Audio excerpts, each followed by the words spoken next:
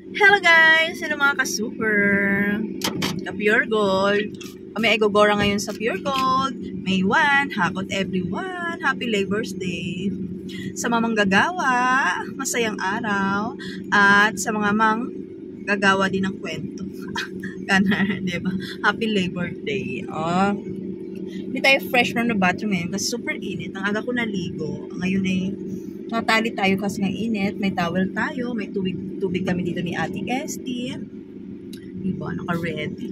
O siya, punta tayo sa Pure Gold. Tayo na sa Pure Gold. Tayo na sa Pure Gold. Always. Dati ang lakas ng ano ngayon, may panalo. Always panalo. Okay, see you there. Sa Pure Gold. Siyempre, dala natin yung ating super belt, belt, bag, bag, bag. Nandito yung ating pambayad. Ang gaan lang kasi ang pambayad ko ay credit card. Pero may dala akong cash card, di ba? Para nagkaroon ng problema. O, di, ready si Modo. O, mapa-cash, mapa-card. O, di ba? Yabang mo naman, madam. O, di ba? Hindi nga ako mayaman. Mayaman, mayabang. Charmy.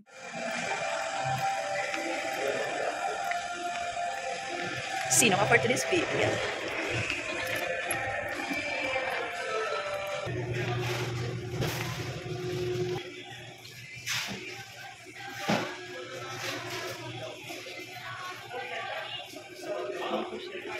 Yan.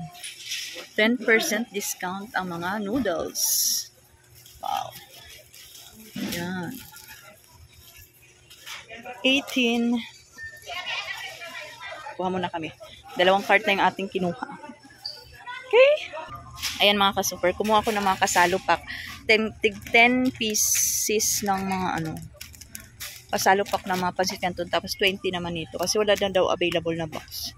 So, tig 10 na yakisoba.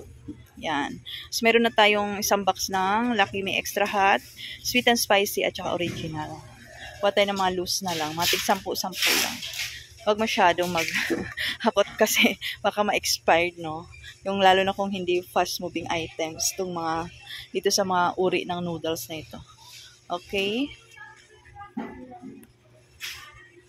Ayan mga ka-super, dilata. At meron tayong isang cart na mga participating items. Cup noodles at pancit canton. Yan yung ating mga box-box. Ang laki may pancit canton. Yan. Na-transact na nila. Ah, oh, diba? Hakot pa more. Yan. Ito lang yung ating mga non-food for today's video. Downy, Ariel, powder. Yan. Diba? Taas na tayo. Yung mga participating items na inavail natin. Ay, mga shampoo pa pala. Yan, mga tatlong box ng pansit canton tsaka itong mga per piece. Kasali din pala itong mga to. Kumanaw ng mga shampoo. Isang maliit na box. Yan. Diba? Wow. Hakot.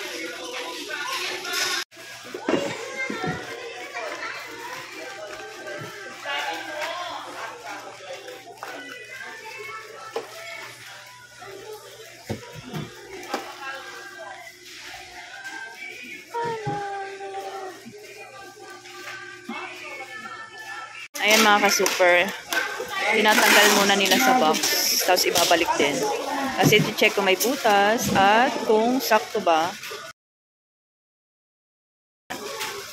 So 14 pesos isa. Hindi pa rin naman nagmamahal. Yan. Per piece ang kanilang presyuhan. Kahit per box. Oh, box, box, box. Wow.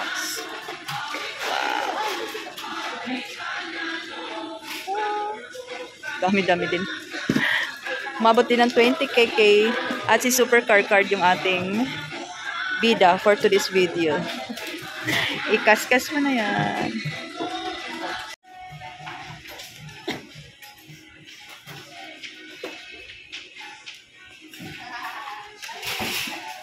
Yan. Thank you, Pure Gold. Sa assistant. Kasya kaya kay Whitey ko. Dahil box, box, box. Wow. Yan. Ah, Jiba. Loaded si Whitey Car. Hanggang dito. Ah, diba? Ayan, o diba? Hindi natin makita yung likuran natin. At ito yung ating resibo. nagbilangan pa ang cashier tsaka bagger kasi ang laki ng kulang. 60 plus. Ayun pala, yung, tat, yung isang box ko ng pansit canton, ang na-punch lang is 12 imbis na 72. O di kulang ng 60 pieces. Ayun. Kaya dalawa yung ating resibo. Yung itong isang resibo ay umabot din tayo ng 19,334 at itong hindi na punch ay 840 din. Oh. Total din 20k plus plus din yung ating na purchase for today's video dito sa Pure Gold. Hakot everyone, every first of the month, Labor Day, naka 20k tayo. At syempre, ginamit natin si Super Card. O, gustong gusto ni Super Card Card nakakaskas siya eh.